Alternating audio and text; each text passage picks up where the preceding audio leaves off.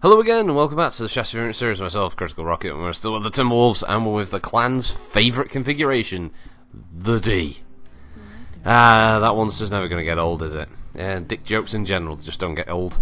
So yes, the Timberwolf Delta. Now, this is another dual ERPPC wielder, but uh, it has the tiny little caveat that it comes with four streak sixes, two mounted in each side torso, and a single ER small laser. Just there to piss me off and make me buy the whole mech rather than just getting the Omnipods. So, fuck you, game. Basically. Uh, it's really good. it's straight out the straight out the bat. It's uh, it's just a really good version of the Timberwolf. It's straightforward. It's yes, it's two extreme ranges. It's either smack bang in the enemy's face, or it's so far away that you could send a postcard quicker than it would be for the weapons fire to get there because of ERPPC's firing so damn slow. So what you end up with is a very very high damage version of the Timberwolf. I prefer firing the Streak Sixes in chain fire rather than as a group, mainly because it looks cooler, and I think it also scares the crap out of light pilots more. Firing all four of them at the same time is obviously good just when you've got the angle and you can hit them, and it's a huge amount of damage. But I always wonder sometimes about PGI's uh, hit reg, so I find that firing them in chain also, I think, guarantees more of the missiles hit, or register hits at least, uh, rather than uh, firing all of them at the same time and it only registering about two thirds of those missiles. New target acquired. So as such, it's very powerful. It's extremely heat efficient, despite the fact that it does have some pretty high heat weaponry. And coupled with all the other great things about the Timberwolf anyways, its speed, its armour, uh, it you know, it looks great. Uh, and looks are, are an essential part of any uh, choice when uh, coming up with a particular battle mech. And uh, yeah, this this this match was a milk run, uh, mainly because this mech is just so much fun. Just admit, I, you know, I got a little bit fed up with some teammates who would stand in your way on occasion, uh, especially when you're trying to line up a shot and like a, a friendly just uh, World pat themselves right in front of you, and you just sort of like, yeah, thanks for that. Now I can't help you. You're getting hit, and I'm getting some of that fire as well, and we both look like fucking idiots. So congrats on that one.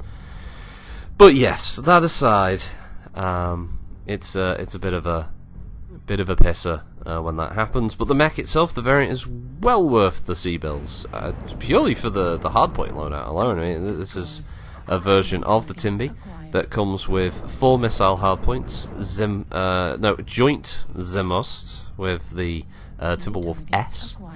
Uh, the energy hardpoints is only three, which is probably lacking, but it more than makes up for it with the missile hardpoints. And the great thing is, is you could take the, the missile hardpoints and whack them onto your Timberwolf Prime if you wanted to some extra uh, missile firepower there, or stick them onto uh, one of the other variants that doesn't come with them, like the uh, or the other use the other side torso from the A. Uh, that kind of thing. If you want to mix and match, this is the, probably your best uh, side torso ones because it's not as expensive.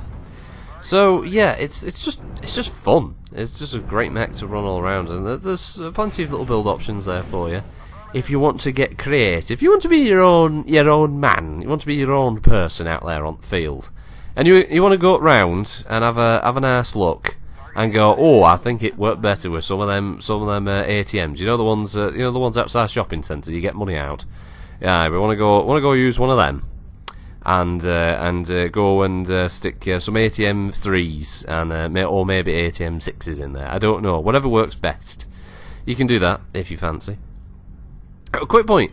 Uh, the bro was looking like through Reddit at some point, and uh, there was like one person said they couldn't watch the videos because I always sound so, oh god, I'm so down. It's like, well, I'm sorry if that's the way I fucking talk. I'm sorry. uh, I'm sorry that the videos can't be so chipper like, oh good, good golly gosh, oh wow, it's amazing, it's MechWarrior Online. You know, it can't always be so fucking happy and joyous all the goddamn time.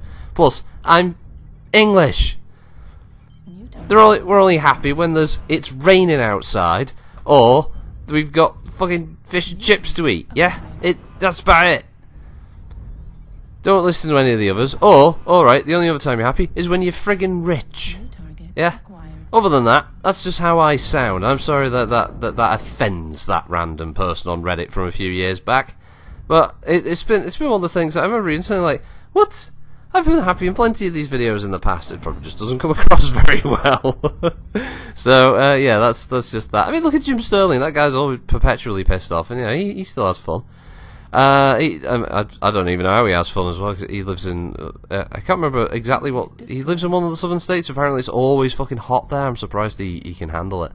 Uh, because you know over here, unless you're living on the south coast, it's not fucking hot. It's it's usually mild. So uh, I think this round is wrapping up now, actually. So uh, I'll uh, I'll leave it there. Uh, so yeah, great mech, good variant, well worth picking up if you haven't already. Which is be surprising because it's Thimble, it's great. So um, have a good one all. Thanks for watching. There might be a slight edit because there might be a bit where yes, I think there is this one. There is there's apparently there's a disconnect somewhere, and I read a grid reference and I went off to go find it, uh, and I don't think they were there. So, or at least the match was over by the time I could get anywhere near to them. So yeah, I'll probably edit that bit out. So, thanks for watching, everybody. Have a good one. I'll see you next time. Bye.